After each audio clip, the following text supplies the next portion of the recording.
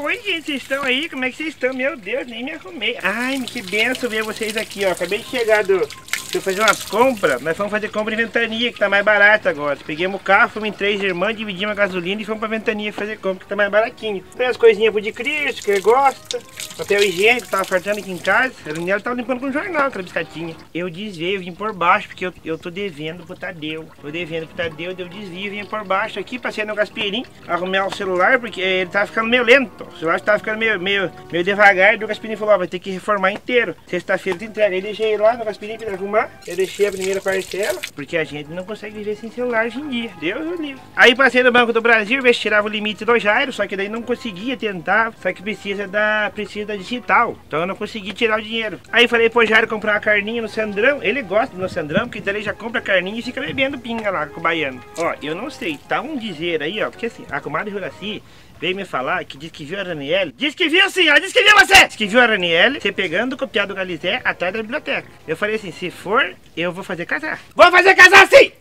Biscatinha. E a comadre Juracia de falar do filho dos outros. Ela falou, ai, eu vi o de Cristo, teu filho, andando com os piara 18. Foram lá pra roda d'água nadar. Olha que moto do Jack! Diz que viu o de Cristo, disse que foi pro arroio com os piara 18, na tarde da roda d'água. E diz que na borda pularam da ponte. Esse aí tá mentindo, é o filho dela que pulou da ponte. Nossa, que flor bonita aquela. Tirar uma muda pra comadre. Aí eu fui no Abel comprar um calçado pra Daniela, tá precisando. né? Imagina, diz que é tibagiano, mas não comprou um calçado no Abel. A pressão já tá 19%. Daqui a pouco eu, eu sofro de desmaio. Daqui a... Desculpe. Ah, então eu não sei se eu faço uma jantinha ou se eu compro um salada na Edna, porque aqui em casa vai ser só eu mesmo que vou comprar um salada na Edna. De Cristo fica, ai mãe, me leve no Mirante e vê a explosão, me leve no Mirante e vê a explosão da usina, não sei o que. Eu falei, eu não vou levar, eu não vou levar porque ele não se comporta. Fica mostrando esse pinto, escolhe esse pinto, de Cristo, tá louco? Se quer ver a explosão, escolhe esse pinto. E então eu vou me recolher, que amanhã eu tenho que ir cedo no cine, porque então eu vou deixar o cadastro do de Cristo pra ir ver se pegam ele pra colher maçã em Santa Catarina. Vou lá, então, tchau pra vocês, que Deus ilumine a vida de vocês. Vou me recolher.